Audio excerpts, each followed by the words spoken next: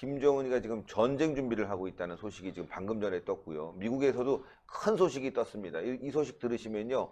정말 우리 대한민국 지키기 위해서 여러분들이 어떻게 해야 될지 답이 나올 것 같습니다. 지금 북한은요. 연일 전쟁 준비라고 합니다. 그 소식 전합니다. 예, 정말 나라 안팎이 시끄럽습니다. 나라 안에서는 지금 국회에서는 날치기 법안 통과로 정말 쌩난리가 났고 그리고 무엇보다 우리 안보와 관련된 문제 역시 정말 큰일입니다. 북한은 매년 12월 동계훈련에 돌입을 하는데요. 이번 동계훈련은 그동안 있었던 동계훈련과는 사뭇 다른 매우 진지하고 강도 높은 동계훈련이 이어지고 있다고 합니다. 심지어 김정은은 동계훈련에 돌입하면서 북한의 주민들에게 이제 전쟁을 각오하라고 엄명을 내렸다고 하는데요. 북한의 전쟁 준비 소식 보도해드리도록 하겠습니다. 북한의 내로남불식 언행은 이미 극에 달했습니다. 하지만 이 가운데 올해 북한의 내로남불식 언행이 자신들의 동계훈련을 펼치며 그 강도를 더해가고 있습니다. 최근 한미 연합훈련을 전쟁 연습이라고 맹 비난하던 북한이 정작 자신들은 올해 유독 준전시 분위기를 강조하면서 훈련을 진행한 것으로 드러났습니다. 군 관계자는 이렇게 밝혔습니다. 북한이 지난 12월 1일 동계훈련에 돌입하기 전 예년보다 더 엄격한 준비 작업을 거친 것으로 파악됐다며 북한군의 동계훈련 동향을 예의주시하고 있다고 밝혔습니다. 북한 매년 새학년도 전투정치훈련이라는 명칭으로 동계훈련을 실시하고 있습니다. 이 동계훈련에는 정규군인 인민군 외 내무군, 우리나라에서는 정경에 해당합니다. 그리고 우리나라 예비군에 해당하는 교도대, 그리고 우리나라 민방위에 해당하는 노동저기군, 그리고 우리나라 소년단에 해당하는 붉은 청년 근위대 등이 참석하며 주민들 역시 총 동원되어서 등화 관제 훈련과 대피 훈련을 받는 대규모 훈련입니다. 이 동계 훈련에서는 통상 12월에는 야전 훈련과 사상 교육이 이루어지며 1월에는 야외 훈련, 그리고 2, 3월에는 야외 기동 훈련이 이루어지는 것으로 전해지고 있습니다. 대북 소식통에 따르면 평양에서도 이미 10월부터 주민들을 대상으로 사전훈련이 시작되었으며 이는 매우 이례적이라고 합니다. 왜냐? 사실 북한이 평양공화국이라는 말이 있을 정도로 평양에 거주하는 주민들은 북한 내에서 특권층입니다. 이 특권층들 역시 사전훈련에 동원이 되었다고 합니다. 평소 훈련에서 땀을 흘린 만큼 피를 덜 흘린다는 기존의 교육 기조가 올해에는 전쟁에 돌입할 수 있는 각오를 갖자고 바뀌었다고 전해오고 있는 상황입니다. 북한 내부에서는 전쟁 준비를 착실히 차곡차곡 해오고 있다는 이야기입니다. 북한은 강도 높은 동계훈련에 돌입하면서 이 이유가 무엇인가 매우 궁금하실 겁니다. 하지만 전문가들의 해석에 따르면 북한의 강도 높은 동계훈련 돌입은 교착 상태에 빠진 미북 관계와 무관치가 않다고 합니다. 이는 북한의 군 기강을 바로잡는 동시에 내부 주민들의 결속력을 다지겠다는 의도라는 겁니다. 안찬일 세계 북한 연구센터 소장은 다음과 같이 밝혔습니다. 지난 4월 최고인민회의에서 헌법 개정을 통해 삭제된 선군 사상이라는 표현이 최근 다시 등장한 점 역시 강화된 동계훈련과 연관된다며 그만큼 전쟁과 군부에 김정은이 비중, 비중을 두고 긴장 분위기를 조성하려는 것이라고 지적을 했습니다. 한편 북한의 이러한 내로남불식 군사훈련에 대해서 우리 군 관계자는 다음과 같이 이야기를 했습니다. 자신들의 군사훈련에 대해선 침묵하면서 한반도 정세 악화의 원인을 한국의 대북 방어 훈련에 돌리고 있다. 이는 북한이 평화 조성 모드를 이용하면서 호시탐탐 남침을 기도했던 기도 기존의 전략과 다를 바가 없다는 이야기입니다. 이야, 이거 심상치 않은데요. 북한이 이렇게 움직인다는 게 이게 간단한 문제가 아니라는 거 여러분들 명심해야 될 것 같습니다. 어, 올해는 그냥 넘어간다고 하지만 사실 올해 말도 위험하죠. 올해 안, 예, 넘, 뭔가 안 넘어간다는 큰, 의견도 많이 있습니다. 예, 위험이 닥칠 것 같아요. 그래서 저희가 보도 준비해 놓은 게 있기 때문에 내일 오전에 아주 중요한 방송이라 특집 방송으로 하고 오늘 저녁에는요.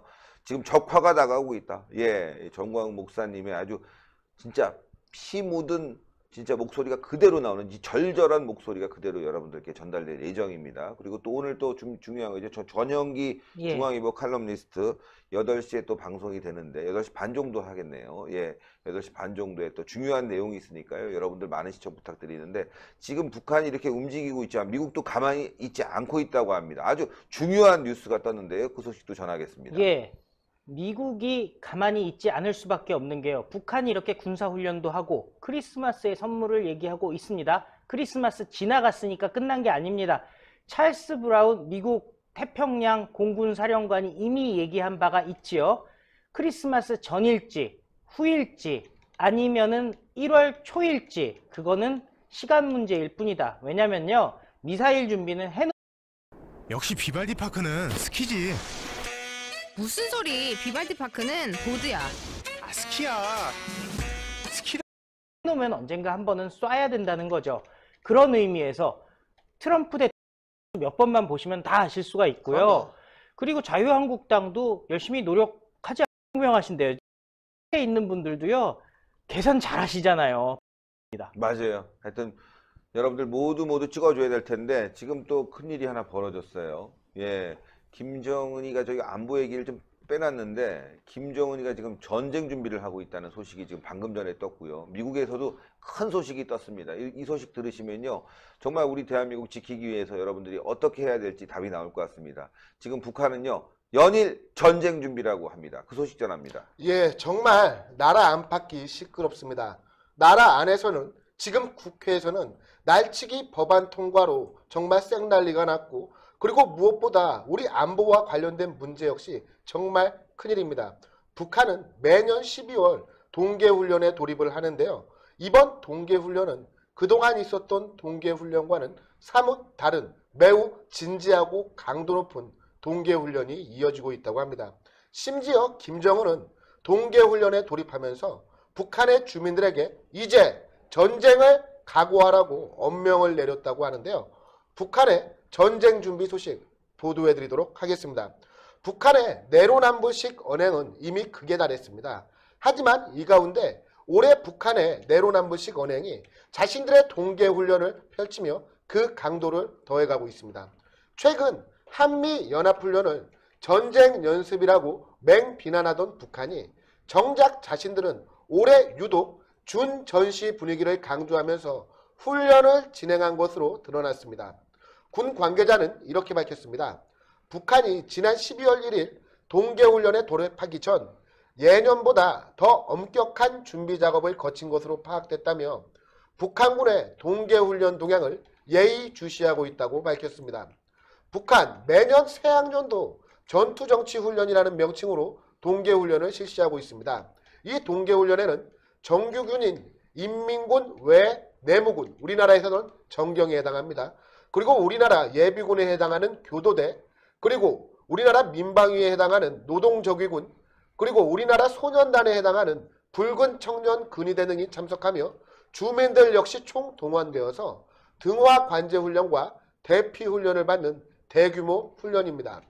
이 동계 훈련에서는 통상 12월에는 야전 훈련과 사상 교육이 이루어지며 1월에는 야외 훈련, 그리고 2, 3월에는 야외 기동 훈련이 이루어지는 것으로 전해지고 있습니다. 대북 소식통에 따르면 평양에서도 이미 10월부터 주민들을 대상으로 사전훈련이 시작되었으며 이는 매우 이례적이라고 합니다. 왜냐? 사실 북한이 평양공화국이라는 말이 있을 정도로 평양에 거주하는 주민들은 북한 내에서 특권층입니다. 이 특권층들 역시 사전훈련에 동원이 되었다고 합니다. 평소 훈련에서 땀을 흘린 만큼 피를 덜 흘린다는 기존의 교육 기조가 올해에는 전쟁에 돌입할 수 있는 각오를 갖자고 바뀌었다고 전해오고 있는 상황입니다.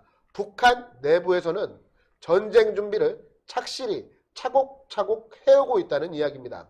북한은 강도 높은 동계훈련에 돌입하면서 이 이유가 무엇인가 매우 궁금하실 겁니다. 하지만 전문가들의 해석에 따르면 북한의 강도 높은 동계훈련 돌입은 교착 상태에 빠진 미북 관계와 무관치가 않다고 합니다.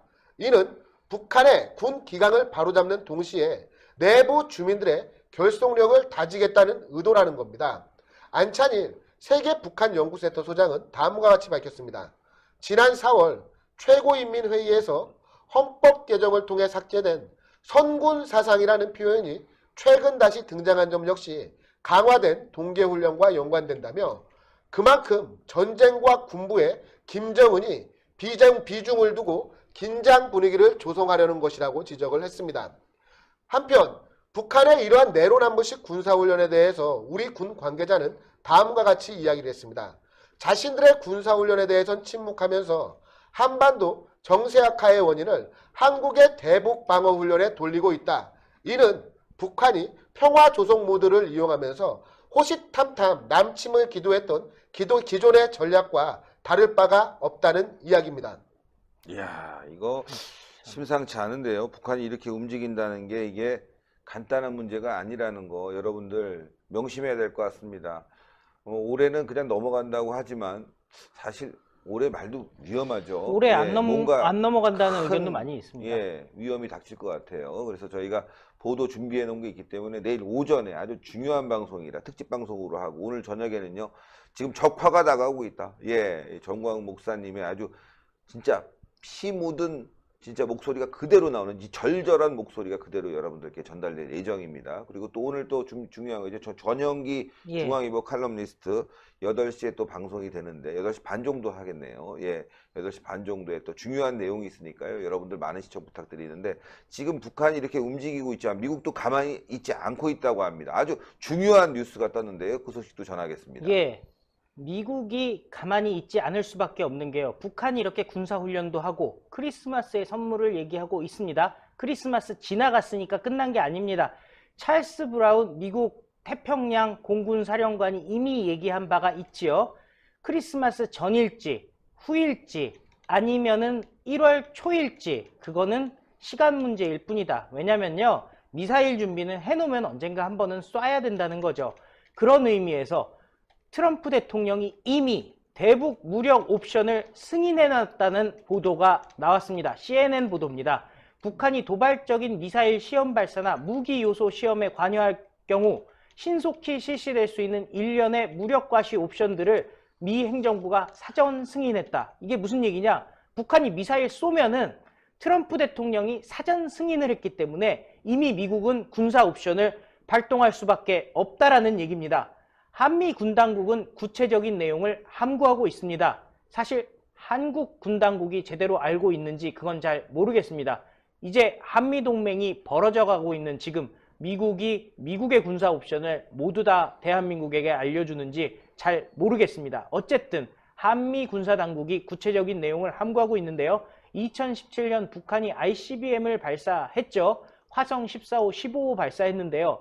한반도 긴장이 고조되던 바로 그 시기 미군이. 한반도에 전개했던 전략 자산들을 통해서 그 군사 옵션이 무엇인지 추- 추정이 가능합니다. 일단 일본에 보면은 이와쿠니, 요코다, 카데나 기지에 스텔스 전투기들이 있습니다. F-22 랩터, F-35 라이트닝이 있고요. 미 해군 항공대에 FA-18 슈퍼 호넷이 있습니다. 요 미국 해군 항공대 FA-18은 항공모함에서 출격을 합니다. 뭐 결국에는 일본 혹은 항공모함에서 출격하고요. 그리고 지금 대한민국에도 F-35가 배치가 돼 있는 상황이기 때문에 한미 연합작전으로 최신의 전투기들이 북한을 훑어버리게 됩니다. 특히 스텔스기들은요, 주석궁을 바로 갈 수가 있는데 북한 입장에서도 주석궁 앞으로 왔다 갔는지를 모른다는 거 아니겠습니까? 예전에 F-117A가 실제로 주석궁 앞을 훑고 지나왔다라는 것을 어, 퇴역한 미국의 공군 장교가 얘기한 바가 있습니다. 또 미국이 핵 폭격기를 출격시킬 계획도 있다는 거죠. 괌의 앤더슨 공군기지로부터 B-1 B 랜서 초음속 폭격기, B-2 스피릿 스틸- 스텔스 폭격기, 그리고 B-52 스트래토포트리스라고 여러분들 잘 아시죠? 지금 사진에 나오는 것이 바로 B-52 아, 폭격기인데요. 바로 핵 폭격기들입니다. 핵 투하 능력이 있고 장거리를 날라서 투하하고 유유히 돌아올 수가 있습니다. 물론 공중급유기까지 같이 온다면은 여유 있는 작전 수행까지도 가, 가능합니다. 그런데요, 저희가 처음 말씀드리는 건 아니지만 처음 아시는 분들도 있을 겁니다. 2017년 미국 전략 폭격기가요, 사실은 북방 한계선을 넘어서 북한을 직접 위협한 바가 있습니다. 바로 2017년 9월에 도널드 트럼프 미국 대통령이 북한을 완전히 멸망시킬 수도 있다고 경고를 했었죠. 그때 북한이 깨갱합니다. 그 이유가 무엇이냐? B1B 편대가요. 북한의 심포 앞 바로 앞까지 날아갔다는 거 아닙니까? 한경남도 심포 앞 공해상까지 북상해서 무력 시위를 하고 돌아왔습니다. 그렇기 때문에 이번에도 북한이 ICBM을 쏜다면 바로 폭격기 편대가 북한 영공으로 들어갈 수 있다라는 얘기입니다. 또한 항공모함의 전개도 가능합니다. 2017년 11월 동해에 도널드 로널드 레이건함, 레이건함 그리고 시어도 루즈벨트함, 니미츠함 등 미 항공모함 세 척이 전개했습니다. 보통 세 척이 한 곳에 모였다는 거는요. 걸프전 수준의 전쟁이 일어난다는 건데 실질적으로 사실 동태평양에 그러니까 서태평양이죠. 그러니까 우리나라 인근에 당시에 미 항공모함 세 척이 전개한 바가 있습니다. 그리고 마지막으로 여러분들이 주의 잘 보세요. 미국 국적을 가지신 분들 주위에 있죠. 꼭 미국 사람들 우리가 보기에 완전히 뭐 백인 흑인 이거 말고 그냥 한국 분들인데 그냥 우리 섞여 살아요. 근데 미국 국적 갖고 있는 분들이 있습니다. 그런데 그분들이 갑자기 사라질 수가 있습니다. 바로 한국 거주 미국인 소개령입니다. 실제로 트럼프 대통령이 2018년 1월에 미국인 소개령을 검토했었다고 하는데요. 미국인 소개령이 내려지면 무슨 얘기겠습니까? 바로 북한과 전쟁을 한다는 얘기죠. 사실상 2017년, 2018년에는 전쟁 일보 직전까지 갔었던 겁니다. 지금 2019년 12월 그리고 2020년 초 바로 미국에서 군사 옵션을 생각하고 있습니다. 만약 북한이 오판한다면은 바로 전쟁 상황으로 들어갈 수도 있고 그럴 때는 주변을 둘러보십시오. 미국 국적 가시, 가지신 분이 갑자기 어, 미국에 있는 친척 보러 간다고 미국으로 돌아간다거나 직장 때문에 돌아간다고 하거나 싹 사라지는 순간 전쟁이 다가오는 겁니다. 아우 정말 무시무시한 일들이 지금 벌어지고 있습니다. 이게 한반도 상황이 이렇게 급박하게 돌아가고 있는데 지금 국내 정치 어떻습니까? 지금 국회 난리 났죠. 예. 안보는 관심도 없습니다. 어떻게 하면 내년 총선 승리할까 꼼수만 부리고 있습니다. 불법 선거를 회책하고 있는 이 민주당 정권 어떻게 되겠습니까? 여러분들 누누이 강조하지만 뭐 100번을 강조하고 1000번을 강조해도 여러분들 뭐 과언이 아닙니다. 신의 한 수의 구독, 좋아요. 알림 방법입니다. 먼저 핸드폰 화면에서 유튜브 어플에 들어가 주세요. 돋보기 마크를 누르시고 신의 한 수를 치고 들어가 주세요.